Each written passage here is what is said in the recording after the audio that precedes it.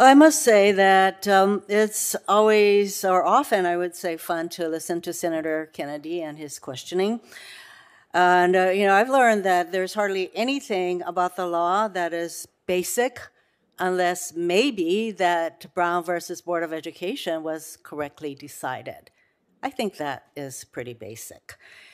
And as for the questioning relating to racial discrimination, I'd say racial discrimination is wrong, but often the argument becomes whether a certain practice or law is racially discriminatory.